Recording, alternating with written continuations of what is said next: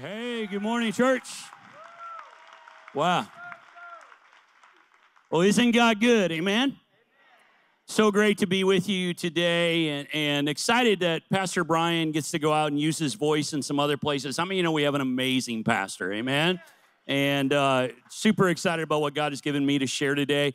Hey, would you welcome the online audience with me, real quick? So, we got Monica from New York, and Lori from Hopewell, and Stan in New Jersey, uh, Timia in Richmond, Reese in Richmond, and I'm pretty sure my mom is watching. She is 84. She is the only member of my fan club. She's in charge of it. And I will warn you that she will chew out the tech people if the signal is not working. She does that. But anyway, welcome the online audience. Come on. Yeah.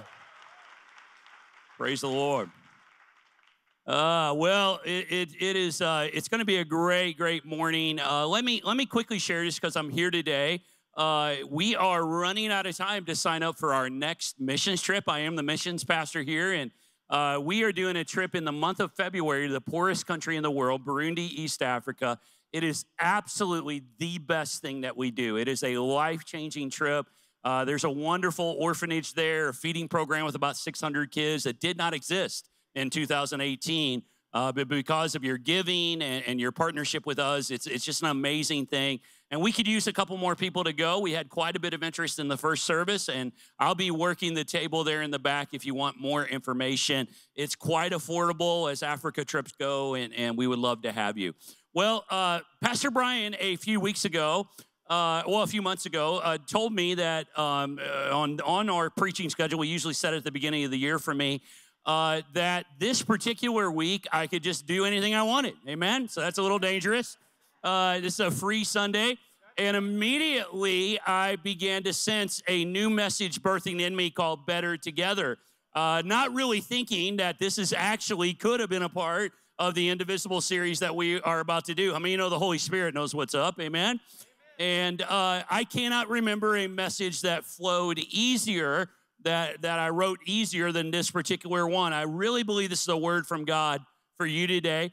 So I want to share a word with you entitled Better Together, the secret ingredient to extreme success in the kingdom of God.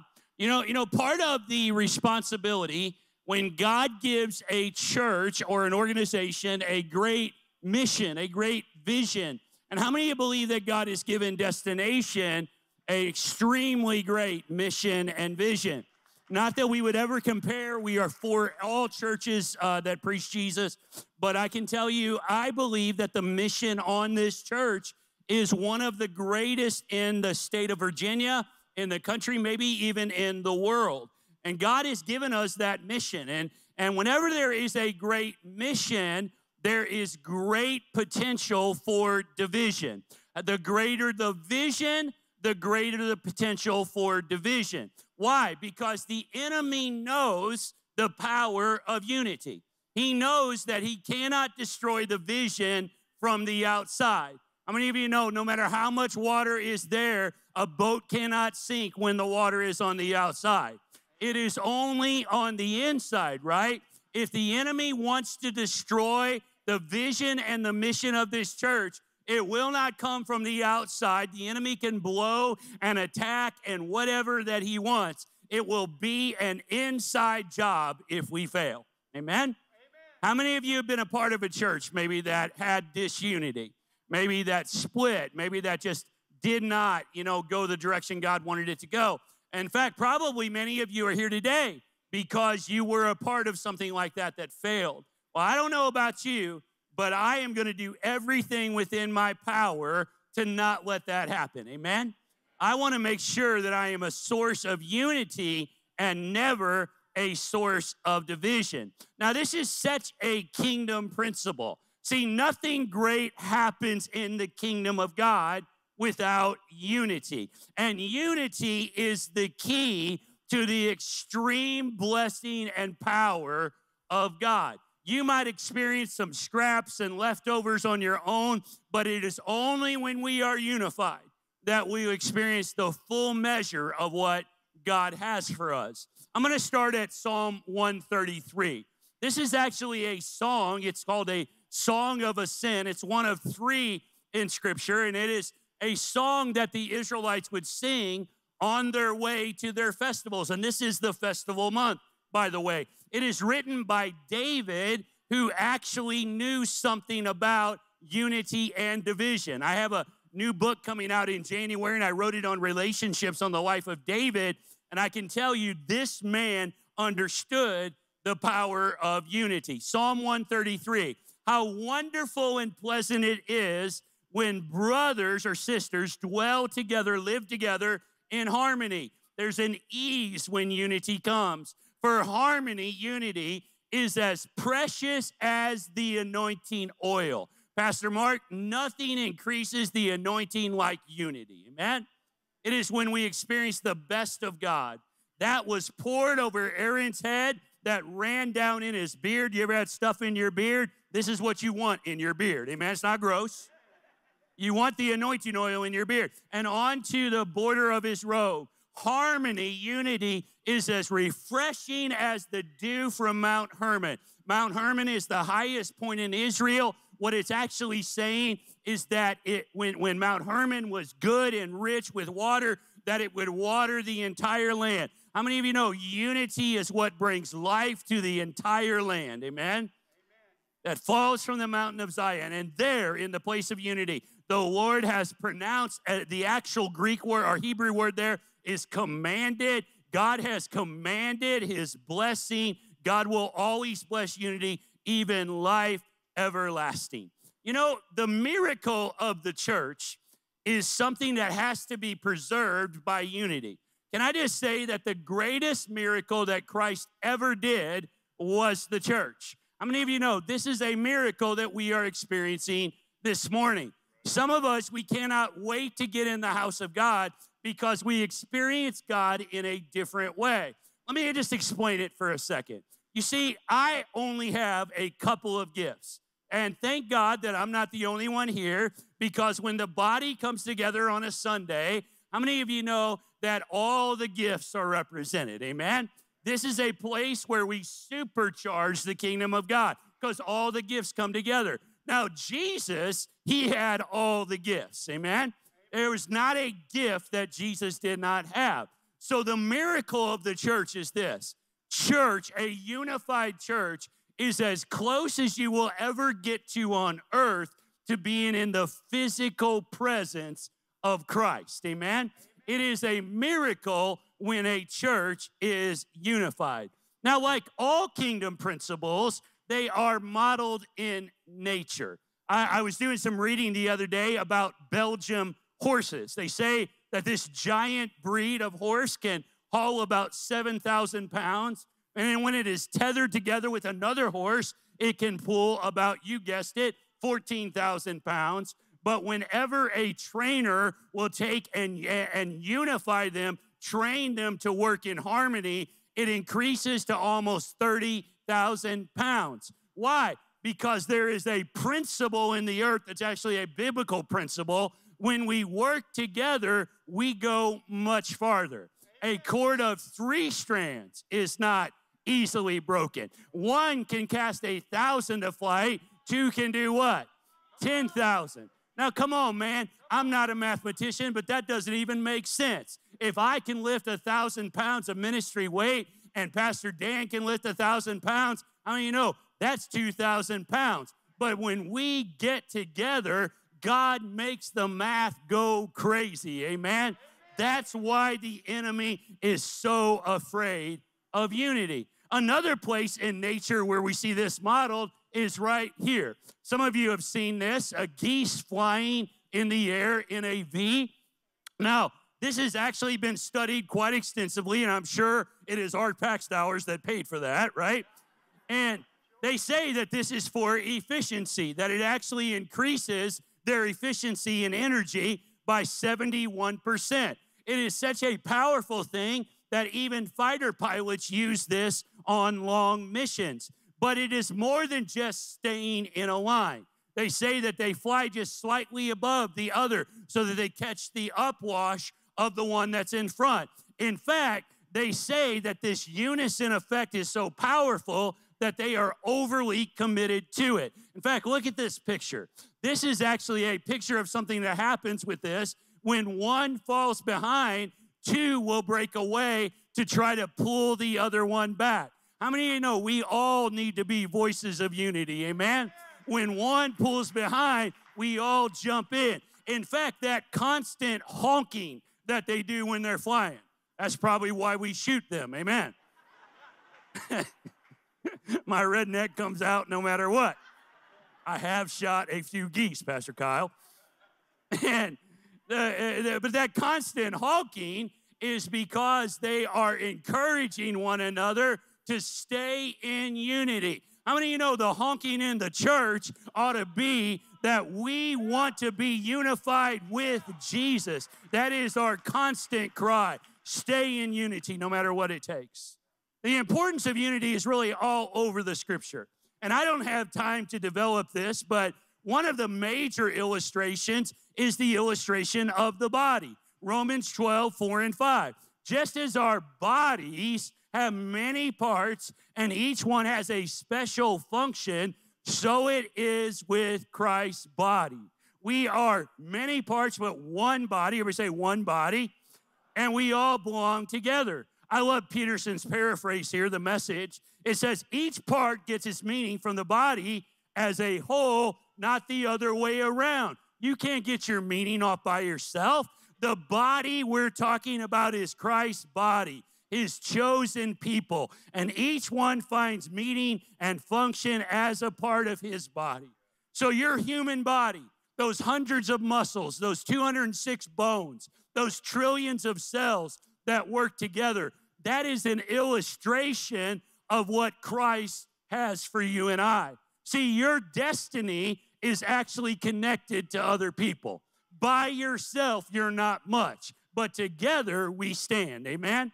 You know what you are? You're like a snowflake. You're kind of fragile and weak, just like me. Alone, we can't do much, but if we stick together, we can shut down cities. Amen? If we stick together, we can change absolutely everything. Paul goes on to say that it, it, he talks about like chopped off fingers and toes and how they wither. See, uh, apart we wither, but together is where we prosper. You cannot fulfill your mission alone. Can you imagine having a rebellious member of your body? Anybody have an older brother that used to play the why are you hitting yourself game? You know what I'm talking about? I had an older brother, he did this to me. He would grab my arm and I was too weak to stop him, and he'd make me hit myself, and he's like, Why are you hitting yourself? I wish I was the older brother, amen. I can't even imagine my left arm not wanting to cooperate or my my voice wanting to say something different. It is only because my body is working together that I can fulfill the mission of preaching this sermon. Amen. Can you imagine your favorite sports team? My mine is the Kansas City Chiefs. Come on. I thought I was preaching on unity today. but I can't imagine a new player joining a team but wearing his old jersey and saying, Hey, I just want those guys to know I still love them. No, you're on my team, baby. You better wear the jersey, embrace the culture, get in unity, or there will be no championship. Amen? See, we all know this to be true. Better together only works when all of the me's intentionally decide to passionately be a part of the we. Amen?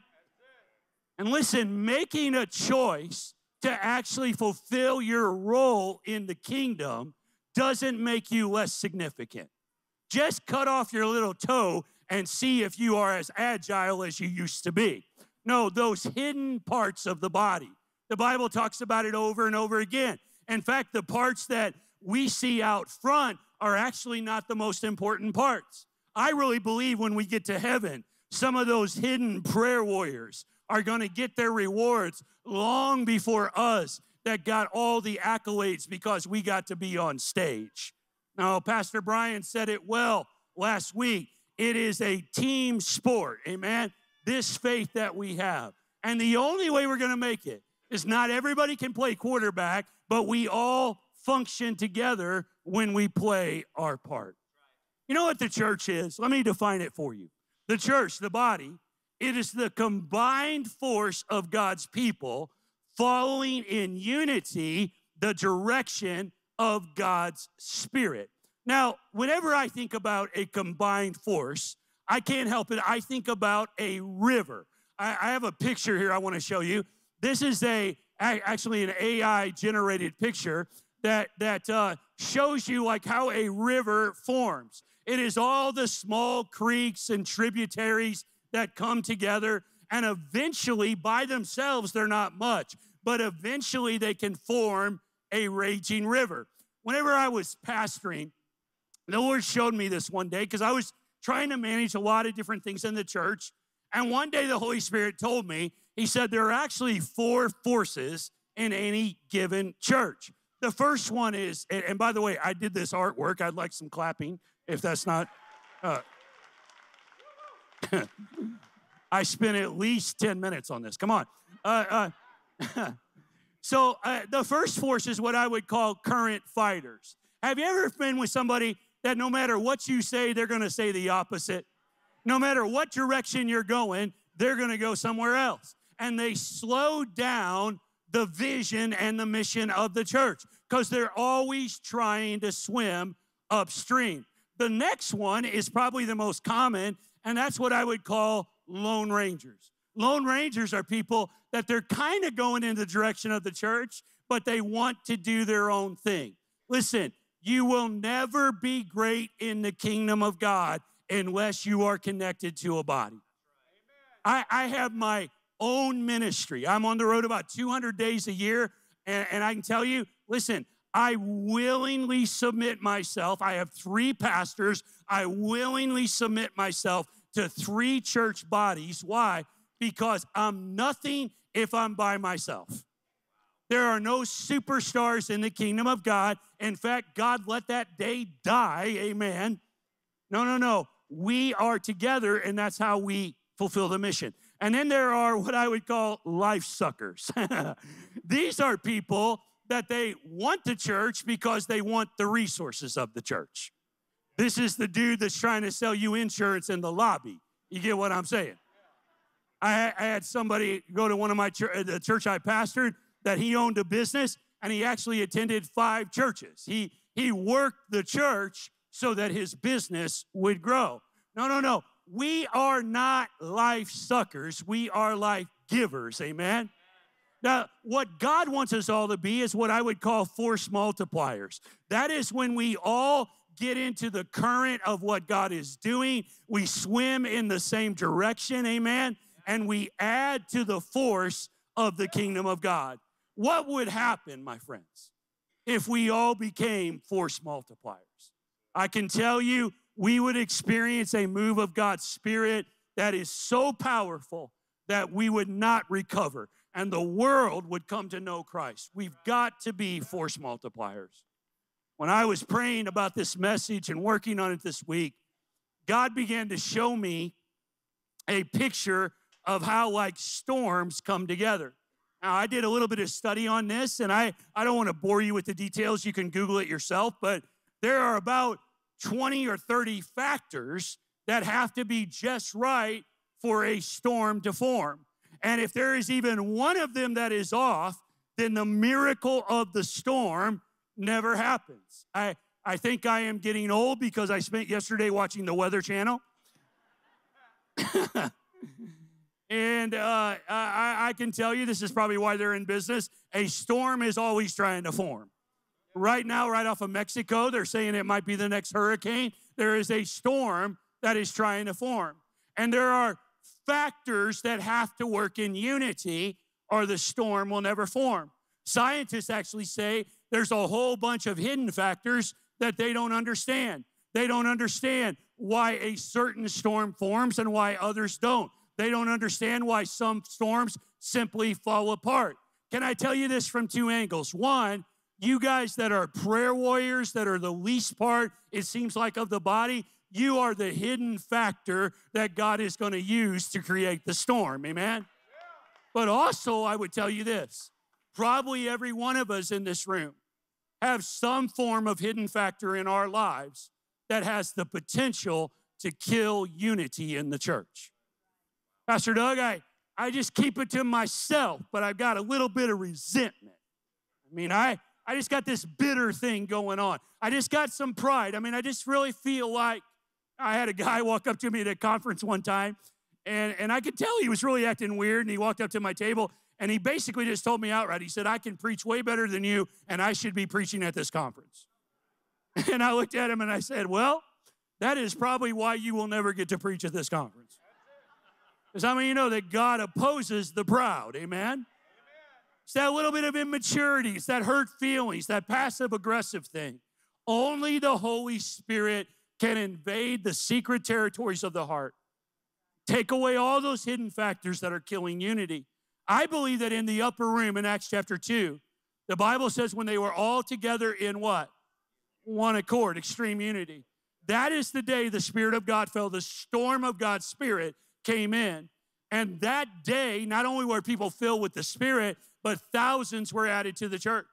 I believe that the 120, they weren't just praying, they were apologizing, they were working stuff out, they were placing, I'm going to talk about this in a minute, their opinions on the altar and getting in the same line of God's Spirit. Amen. It is the storm of God's Spirit that we need. I don't know if you can feel it, but I can. Listen, the air feels a bit heavy right now because I believe that there is a storm of God's Spirit that is going to water the parched lands of this Tri Cities area. And it's coming, baby. And I want to be a part of it. I grew up in central Illinois, and uh, about, I don't know, five or six times a year, the, the tornado uh, sirens would go off. And uh, I, I have this memory of my dad. He would make us all go to the basement to hide from the tornado while he would go out on the porch to try to watch it. And some of my earliest memories are crying because I thought my dad was going to be swept away. And I don't know, this week God brought that memory. I don't think I've ever told that publicly, but He brought that memory back to me. And, and I feel like the way the Holy Spirit applied it is to say, it's time for the church to come out of the basement it's not just the leaders that belong on the porch, it's all of us, amen. We all have something to add. We all are supposed to be swept up in the storm of God's Spirit, amen. See, it is only division that can kill the vision, amen. Well, I want you to get this. How many of you want to get this? Amen. I want to experience unity on a new level. So I want to share with you very quickly three sacrifices, three trade offs that we're going to have to make to experience spiritual unity. The first one is biggest on my heart. We have to trade in opinion. Everybody say opinion. Did you know that sometimes opinion can be a sin? Did you know that? I'm gonna, tell you about it in a minute. Trade in opinion for the sake of the vision. I just want to ask you a quick question. Have you invited the Holy Spirit into your thought life? Have you asked God by His Word to test your opinions? The Bible says that the Word of God is sharper than any two edged sword, and it gets down to the dividing of thoughts and intents. It even gets into the very attitudes of the heart. What I know is this is that my feelings are different than what the Holy Spirit is saying. Ever heard somebody say, Well, I just feel like this is right. I just feel like this is wrong. I'm just not feeling it. Well, listen, your feelings are the most immature part of you. I want to have what the Spirit is saying. Amen? You know, you know, it's funny because we have this amazing capacity to self-deceive in the area of opinion. I, I a few years ago, I was preaching at a church down in Naples, Florida, and the pastor in his office, he told me, he said, Hey, the church is super divided right now. We're about to split wide open. There's no unity in the church. And I was like, Well, thank you very much for inviting me. You know, this is going to be great. And, uh, and anyway, I got up to preach that night, and it wasn't set up like this. It was just one big row, and then right side, left side. And you could literally feel it. Like this side of the room hated that side of the room. And that's, I mean, oh, this, is this feels some familiar, doesn't it? It's like America. And then that side of the room hated this side of the room. And so I preached, you know, the what God gave me that night. And at my table, and I kid you not, I had a dozen people from this side and a dozen people from this side come to my table. And here's what they said We are so glad, Pastor Doug, you preached that because they needed to hear it. and then this side would come and they say, We're so glad you preached that because they needed to hear it. Why?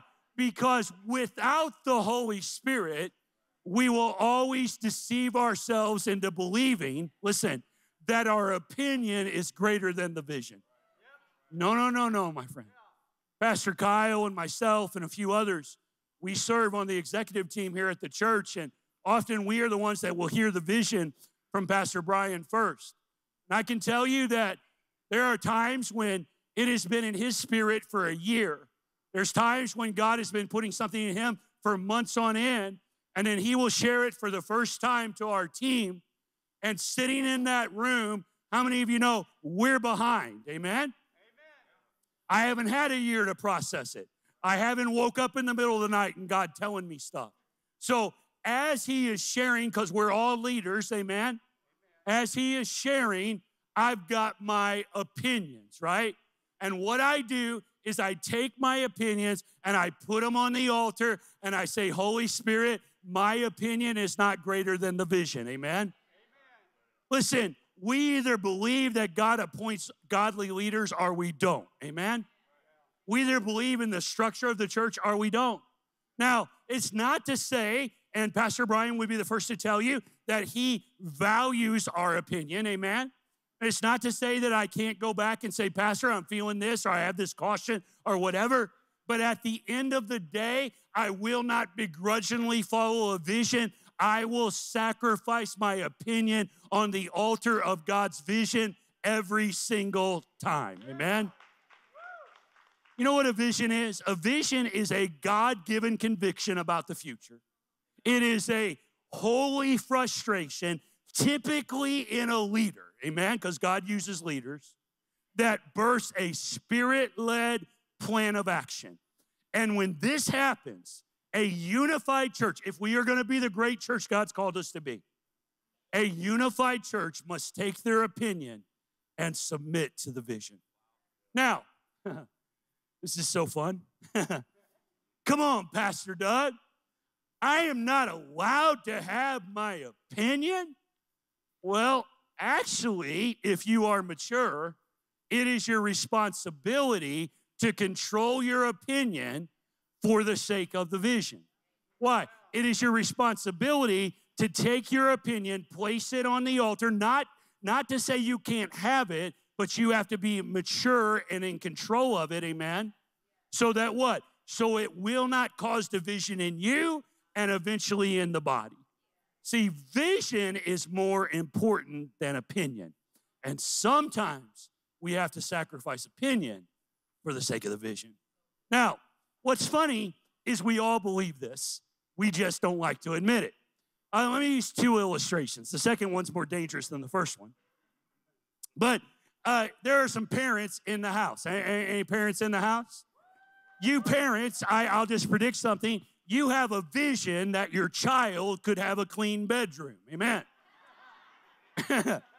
My son was funny because I had this vision for him when he was growing up, and, and he, he likes to major on minors. So I would, I would share the vision of how his room should look, and I would come back six hours later, and he has organized his Hot Wheels.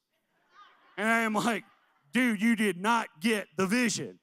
He's like, Dad, look at these. These are awesome. And I said, listen, I don't care about your opinion. What I want is for you to get behind the vision. Amen? And you will not sacrifice the vision for the immaturity of their opinion, will you? It's not a married person in this house that doesn't know what I'm talking about. Listen, every single married person in this room knows that you and your wife or you and your husband, you are not always on the same page. In my marriage, I'm trying not to look down. I, I, uh, I have a, I believe in freedom. She is free to be wrong anytime she wants. Amen.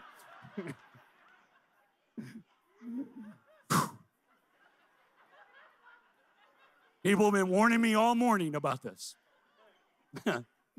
what, What is funny is we all know that at some point you can either be right or you can be in a relationship. And what do we do? Eventually, we take what we believe is right and we put it on the altar and we say, for the sake of the relationship, for the sake of the vision of this marriage, I will place my opinion on the altar. Come on, Pastor Doug, are you telling me I can't even have my own private thoughts? Actually, God is the one that's telling you that. Acts chapter 4, verse 32, I could actually do a 100 of these. It says, All believers in the early church, they are one heart and one mind. Everybody say one mind. First, how many of you think that didn't happen by accident, by the way? They worked stuff out. First Peter 3 8, we are commanded to have humble minds. Everybody say humble minds. United in the Spirit. I'll put this one on the screen. Philippians 4:32.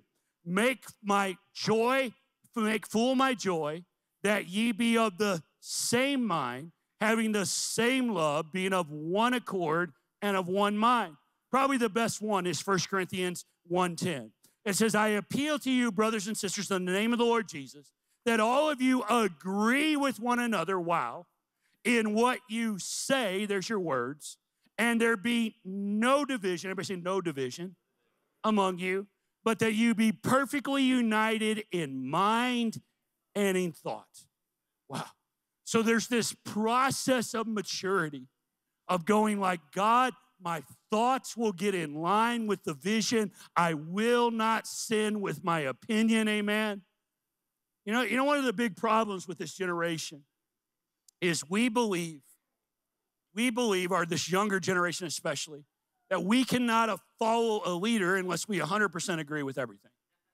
Well, I got news for you. I don't agree 100% with any leader. Amen? but it is maturity that can cause us to be in unity. Listen, my mind and your mind is not a personal playground where I get to think whatever I want. No, my mind is a throne room where I willingly put the Holy Spirit on the throne and I say, You are in charge, you are king. Amen. Yeah. Number two, you have to trade your problems for the sake of peace. Now, relational strife is the cause of a thousand issues. In fact, relational disharmony can actually kill you. Did you know that? There's a major study, you can look it up. It's called the Alameda County Study.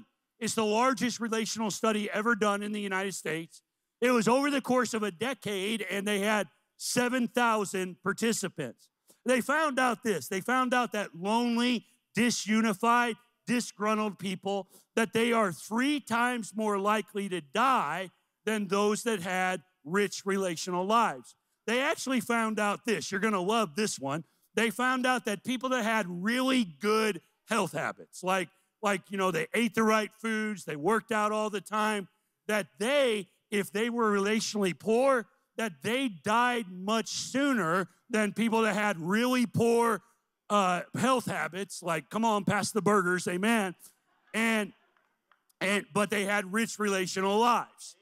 And they would live actually much longer. Now I don't know how they figured out this one, but again, I'm sure we paid for it. They say that people in healthy relationships, they produced far less mucus than those that were unrelational. So it is literally true that if you are not a relational person, you are snottier than everybody else. I actually just did this so I could tell that joke. Amen. they found that people that were relationally unhealthy that they were 70% less in their cognitive function. Did you know, Pastor Charles, that being out of relationship actually makes you dumb? Amen. no, no, no. I want to be healthy in this area. They actually found that it affected their very white cells, it affected the way they developed genes. How, how many of you know that being in disharmony, it affects us at the soul level? Oh, I, I don't want to walk in this place and not be in harmony.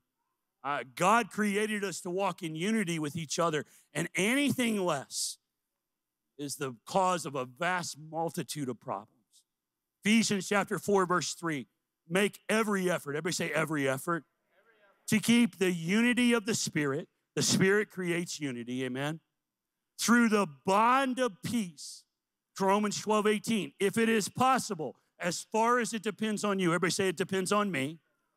Live at peace with everybody, get along with everybody. You, you know, I, I, and I hope the team here would back me up, but I, I can tell you this if you are cross with me, uh, not everybody just goes for you, right? I, I, I can tell you, as far as it be unto me, I will do everything I can to win you back. Why? Because whatever price it takes, we're going to be in unity. Amen. amen I, I, am not above bribery. you know, I, we we will make this work, baby. You, you, you know what happens? You know what happens is that we get we get a habit of being offended. That's really what happens. I, I have in my, my hand a calculator, and I think I think many of us we are mathematicians in the worst way. You know, so we're walking down the hallway, and Pastor Dan's coming by, and he doesn't say hi, and we start doing the math. It's right here. He's a jerk. I'm just telling you. and then there comes Michelle. Well, Michelle, she wouldn't do that. So then comes Pastor Charles, and and and and he he doesn't say hi, and he's a jerk too. Man, it's right here. I mean, he can't argue with the numbers, you know. You know, and and after a while, after a while, we're just offended all the time. So what we've got to do is to give our calculators over to the Lord, amen, and say, God, you are in charge of the math. You, you, know, you know what happens when you are offended? It's like here's your expectation, here's reality. Somebody doesn't meet your expectation. And so what we do is we fill the gap between expectation and reality with what? With doubt, with judgment, with bitterness. When Paul wrote 1 Corinthians 13, he wasn't just giving you material for you to say at your wedding. He was trying to tell us how to live. So, you know what you fill the gap with when somebody doesn't meet your expectation? You should fill it with trust. The Bible says, love always trusts. You should fill it with what? You should fill it with belief. The Bible says, love always believes the best. Amen. You should fill it with hope. They're going to get better. Uh, love always hopes. You know, the Bible says, love keeps no record of wrongs. Man, I hate that one. Because when I'm arguing with anybody, I'm like, man, I want to bring out some facts. I'm like, I could have been a lawyer. You know, you know, it's like, well, I remember two years ago you did you know, and I got it, and I got a good memory. The Bible says you can't do that. You got to keep resetting it. Amen? No, I, I, I don't know if you've noticed this, but I've gotten even better looking. I, I, never know. I never know how this is going to come out. But but uh, I actually in June I I, well, I'll go back even further. Back back during COVID, I, I don't know about you, but COVID to me seemed like Thanksgiving for like two years. It, it was just, it just. Uh, so I gained about 25 pounds during COVID, and uh, I've lost 21 pounds since June. And uh, uh yeah, man, come on. Uh, it's all about him. Eh, eh, okay, so, uh, but how many of you know the, the the weight doesn't come on overnight, and it doesn't come off overnight? right? You just gain a pound of offense here and there, right? And after a while, you're completely unhealthy. You're carrying weight you were not designed to carry. I had indigestion, all kinds of stuff going on that I never faced before. And it's all gone now. Amen. Because how I many you know when the weight goes, the problems go with it? Amen. You know, Jesus said it like this. Peter one day approached Jesus and he said, he said, Jesus, you know, there's this like person in my life and they've hurt me like seven times. You know, should I forgive them like seven times? He thought he was being like, like generous, you know, like you go eight, I'm not going to forgive you. Jesus said this. Jesus said, it's not seven times, it's 70 times seven. Well, I've done the math on that. That's 490. Now, some of you already, you're like, man, that person is on 489. You know, you know, I, I'm almost there. you know, that is not what Jesus was saying. What he was saying was this is sometimes forgiveness is a process. Amen. I don't know if you've ever been hurt this way, but I have. I've been hurt so bad before that I had to forgive the person every day. Amen. And it might go five, six months. And then one day I wake up and it's like it's gone. Amen. Because the process. No, we are people that cannot afford bitterness, resentment, passive aggressiveness. We just can't. Why? It's not because you're not important, it's because the mission and vision is more important than you. Amen. And not only that, you'll do harm to yourself and you'll do harm to others. The last thing is this, and I'm done, is that we have to trade personal gain for kingdom treasure. I just want to say this quickly. There is a treasure that we are going to find together that cannot be found alone. There are things that God wants to do with our church that He cannot do by ourselves. Did you know that one of the last prayers that Jesus prayed was a prayer of unity? They can put it up on the screen. I don't have time to read it. It's in John 17. I think John 17, John 14 through 17, greatest chapters in the Bible. Jesus' prayer for unity is, is, is his heart, it's the goal. Amen?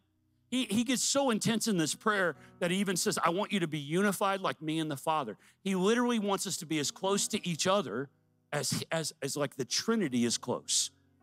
It's, it's, it's unreal. It's, it's a miracle. Amen? But if we do this, if we get unified, there is a treasure that we will find together that we cannot find any other. You know, I, I, I, have been doing this work for a long time. And uh, back when I was about 29, I tell this story on missions trips. Uh, by the way, if you come on a missions trip, you'll hear stuff that you'll never hear from me other ways. Uh, but I tell this one to missions teams in our orientation. And uh, I, I, I, had been traveling for two weeks in the country of the Philippines, preaching at, at small crusades. And I came back from the Philippines. This is back when I was about 29. And I landed in Los Angeles. And, and uh, for me, it was like 10 o'clock in the morning. I was on Filipino time. But for Los Angeles, it was like midnight. And so I got on a red eye flight. I was living down near Miami at the time, and, and I was going to fly this red eye flight back to Florida.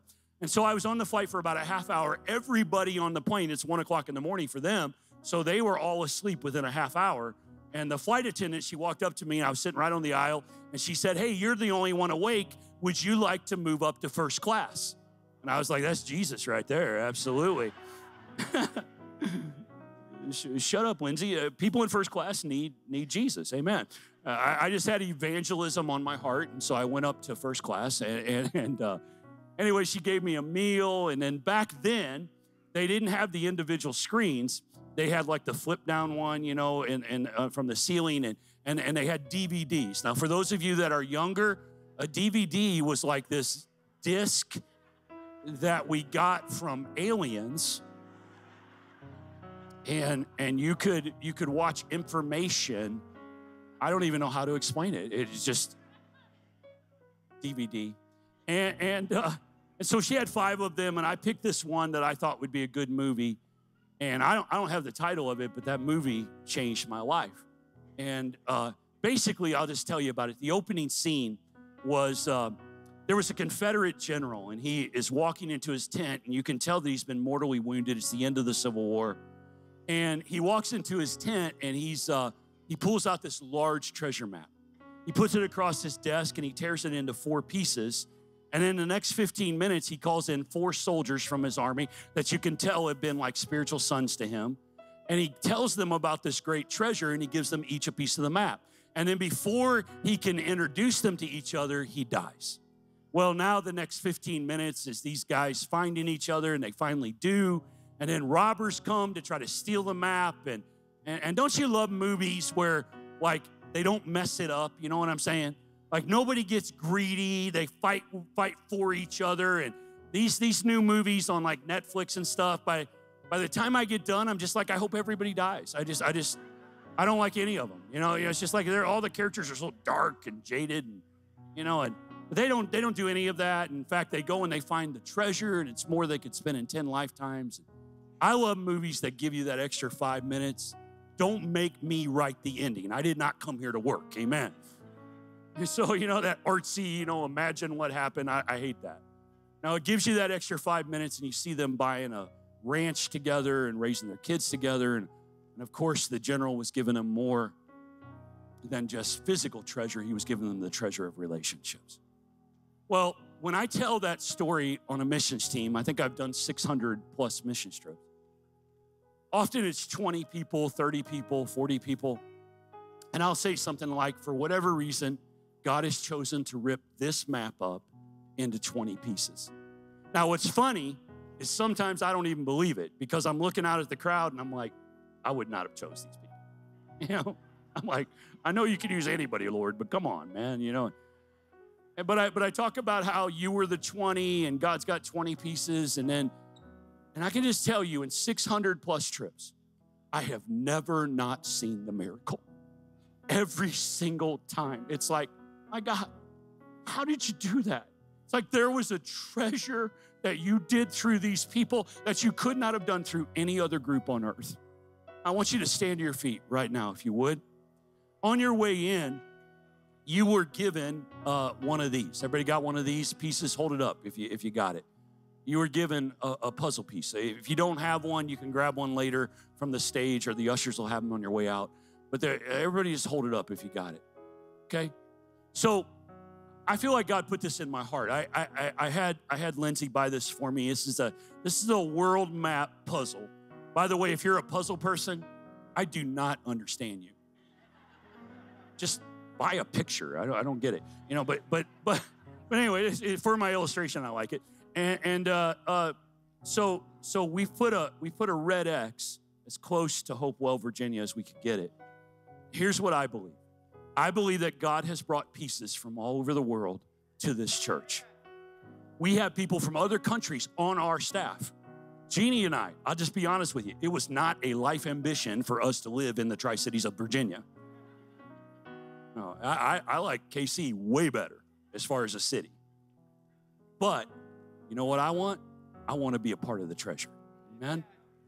God is calling people from all over the nation, from all over the earth to be a part of it. And I don't know why, but for some reason, God has chosen to break this map up into 2,700 or so pieces. Now, We've got some extra ones. You know what this represents? This represents evangelism. Amen. How many of you think there's thousands of people more that are supposed to be a part of the treasure? Man, some of these are going to be at that new campus at the mall. Some of them are going to be right here when we open up some seats. Some of them are happening right now. Did you know that Espanol is packed out today? Amen. And uh, it's already happening. If we were to put this puzzle together, which I am not down for that, you know, and just one piece was missing. How many of you know you really couldn't even see the picture? Your eye would just be drawn to that one piece. Why? Because you are vital. Amen? Come on, Pastor Doug, I'm a nobody. Actually, you are the, the apple of God's eye. You, you, are, you are what we need. You, you, you are a part of the treasure, and without you, we will not find it. Amen? So I believe that God is going to do a work through us that He could not do through any other group of people on earth. So I want to do something before I pray. We want to do an act of unity. You were given this on your way in. If you need one, just, just raise your hand. The ushers will get to you. But how many of you know a great test in a family on whether or not they're unified is have dinner together? Right? We're about to experience it at Thanksgiving, and you will find out either the pleasure or the problems. right? Around that turkey and stuffing, you will figure out whether or not your family is united or you got to work on it. Well, together, we are united around the ultimate meal, the body of Christ. Amen? Bible says on the night that he was betrayed. Come on, if you're a Christian, go ahead and open this up. Don't have to be a member of our church. On the night that he was betrayed, he took the bread and he said, This is my body broken for you. Come on, let's take it together. And then he took the cup of wine and he said, This is my blood poured out for you. How many you know we all need the blood of Jesus? Let's take it. Praise the Lord. Let's give God a hand clap today. Isn't he good? Thank you, Lord. Thank you, Lord. Come on, I want to pray this prayer together. I want to pray it out loud. Let's pray this prayer together. Come on, play it loud and strong. Let's let's be unified. Let's pray this together. Dear Jesus, I ask for your forgiveness for any sources of disunity in me. I take my opinions and I put them on the altar of Christ. Judge them by your Spirit judge them by your word. I want to be a part of what you're doing. I want to be a force multiplier in the church.